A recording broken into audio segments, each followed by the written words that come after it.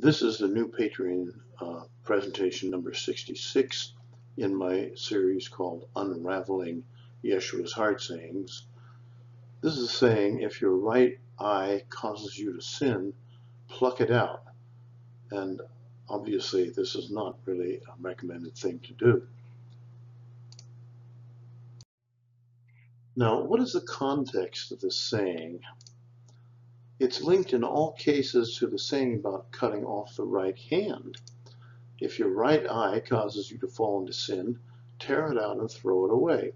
It is better for you to lose one of your members than for your whole body to be thrown into Gehenna. And if your right hand causes you to fall into sin, cut it off and throw it away. For it is better for you to lose one of your members than for your whole body to go into Gehenna. In uh, Mark and Matthew and Papias. Um, this is the statement as it appears in um, uh, Matthew. It's, it's better for you to lose these parts than for your whole body to go to hell. Now, right eye, uh, we have to look at what the statements about the eye and the right eye. Um, there is an idea, idea in the ancient times of the evil eye. It's the Hebrew uh, uh, ayin hara, the eye of, e of the evil, which is an Aramaic uh, statement we know from other sources. You can find more about this in the Jewish virtual library. And to fall into sin is the Hebrew Aramaic kashal, to stumble and grow weak and fall.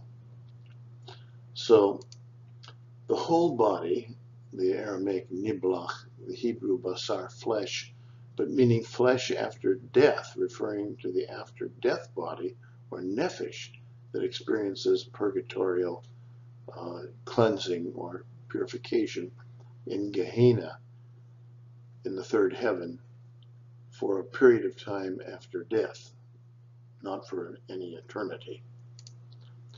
The right hand is allegorical for one's powers of action. So if your right hand causes you to fall into sin, if your actions uh, or your powers of actions call you to fall into sin, uh, to stumble or to grow weak and, and, and, fail or fall. Now this is hyperbole. Um, Jesus used hyperbole, uh, extreme language, uh, not to be taken literally in order to make a point. And this is an example of that. It was Yeshua's characteristic use of paradox and hyperbole that made many of his Davarim easy to remember and transmit in the oral Jesus tradition, but difficult to translate and interpret correctly in transmission as isolated Greek logia without context. Example, whoever does not hate his own father and mother cannot be my disciple. It means that if you want to be my disciple, your spiritual love for God and divine Malkuth must greatly exceed your human love for parents and family.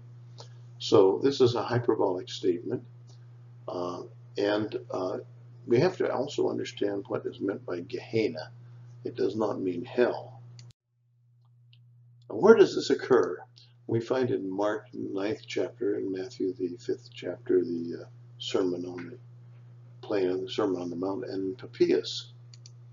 And Mark adds to the saying, where their worm, Gehenna, where their worm does not die and the fire is not quenched, quoting Isaiah in a later edition. The Markan eschatological addition to the saying is probably a post second century gloss because it does not appear in Matthew or Papias. It quotes Isaiah 66:24, the day of Yahweh's judgment. And they shall go forth and look upon the carcasses of the men that have transgressed against me. For their worm shall not die, neither shall their fire be quenched. This is totally unrelated to Yeshua saying uh, about purgatory or purification, Gehenna, after death.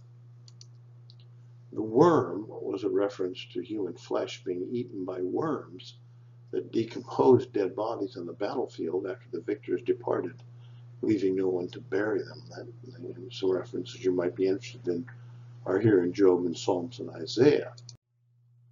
Now, there is a possible prophetic reference in these uh, words of Yeshua that we need to look at because they eliminate some of the aspects of it.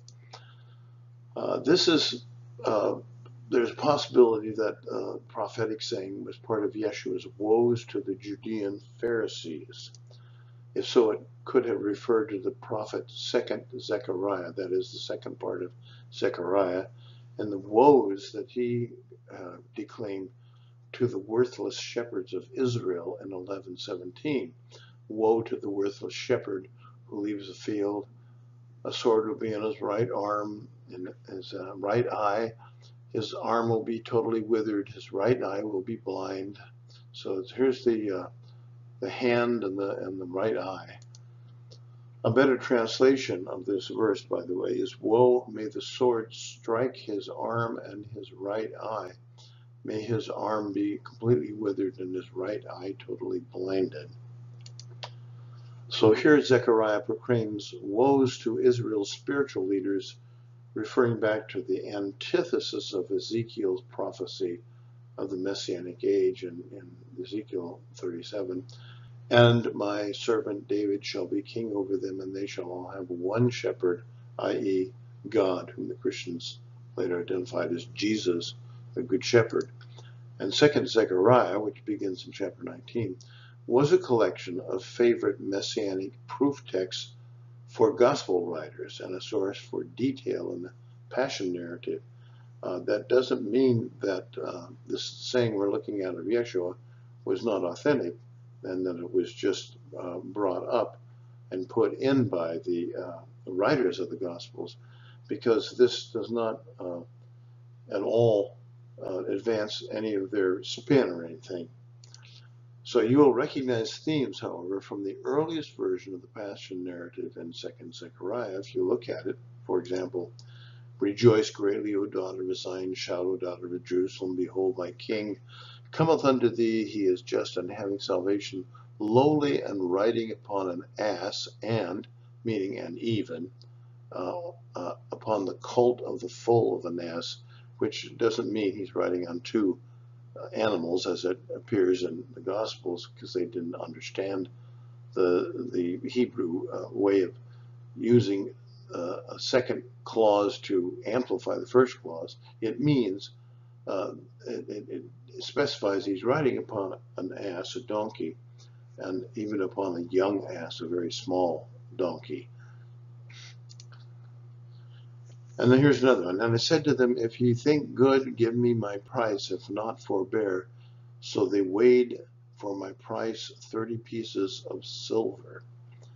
And that may be where the 30 pieces of silver got put into the Gospels. It's the price of a slave that is gored to death by an ox, we find in Exodus. And this is connected to the bargain of Judas in Matthew 26 which the high priest or writers of Matthew knowingly or unknowingly fixed on the price of 30 pieces of silver. Uh, Bereshit Rabbah notices that this prophecy belongs, quote, to the Messiah. When Yeshua entered Jerusalem through the Messiah gate, riding on a donkey as a prophetic act, in Hebrew the ass and the colt were one animal, he probably intended it as a declaration that the Messianic age was about to begin, but later Christians interpreted it as a sign that Jesus was Christ or Messiah. But Yeshua's saying about eye and hand are probably not part of the woes because they fit all the criteria for authentic Davrim, especially hyperbole. So I conclude that this is an authentic Devar. Um, if your right eye causes you to fall into sin, tear it out and throw it away. It is better for you to lose one of your members than for your whole body to be thrown into Gehenna. And Gehenna does not mean hell and damnation, It simply means a period of, uh, um, purification through after death uh, uh, introspection that is not uh, pleasant, but it not doesn't last eternally. It lasts anywhere from a few hours to a couple of days, at the most, for most evil of people, according to the rabbis of that period, it can last for a year. And if your whole, if, you, if your right hand, which means your actions that you choose to make, causes you to fall into sin, which means to uh, to kick up all all the consequences of sin, cut it off and throw it away. That is, stop doing that stuff. It is better for you to lose one of your members than for your whole body to go into Gehenna again, this place of uh, temporary uh, torment, but purification.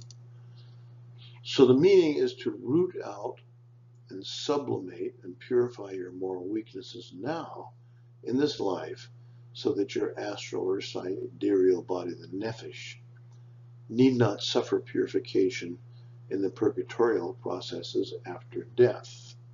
That's what it would mean.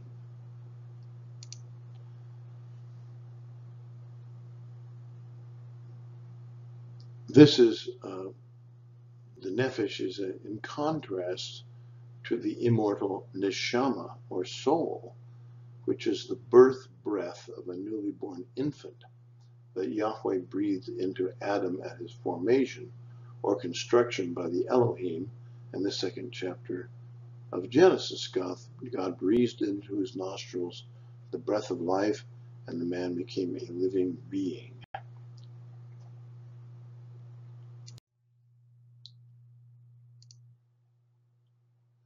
Please click on the Patreon link in my description just below the video to become a patron helping to sponsor my new videos on the pre-Christian teachings of Yeshua. And for a patronage of $2 or more per lecture, which would be $4 a month, you will receive PDF files of books featured in this series and passwords to Wisdom Seminars courses that are commensurate with your level of support. Thank you very much.